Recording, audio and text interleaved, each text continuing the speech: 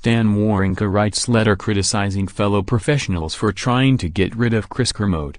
Three-time Grand Slam champion Stan Wawrinka has written a letter criticizing other players for fomenting upheaval within the ATP hierarchy.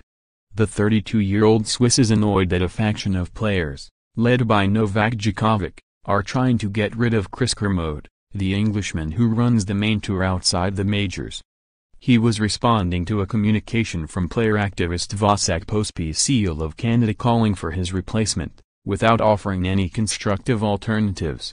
I did not want to spend time writing this the day before a Grand Slam here in Australia but I am reading crazy things online about player council voting against the CEO yesterday, wrote Wawrinka.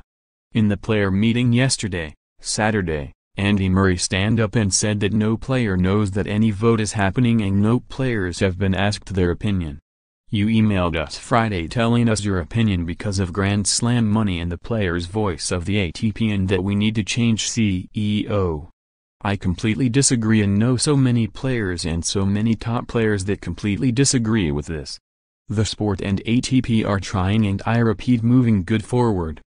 In player meeting yesterday, it said the players' vote for the ATP is at highest marks ever in history.